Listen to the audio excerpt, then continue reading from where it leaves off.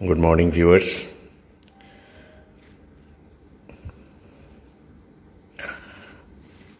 Most of the tissue culture lab, this instrument is very much popular.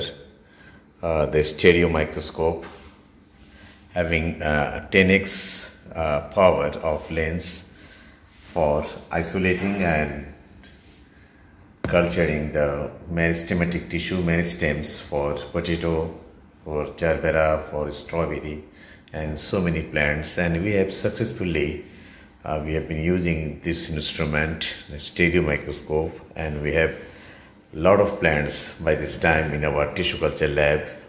Those plants are exclusively virus free.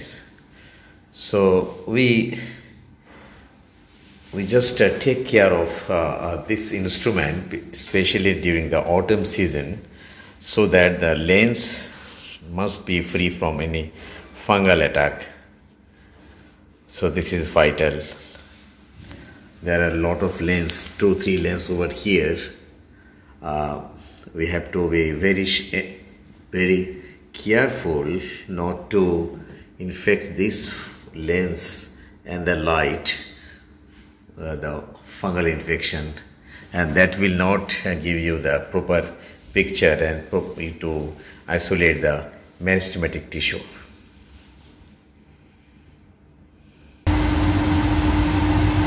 These are all meristem derived uh,